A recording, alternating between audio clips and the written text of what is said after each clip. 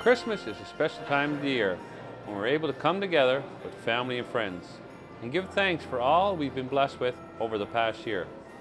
The holiday season is also an opportunity for us to give back to our communities and help those who are less fortunate than us. From my family to yours, Merry Christmas and all the best in the coming year.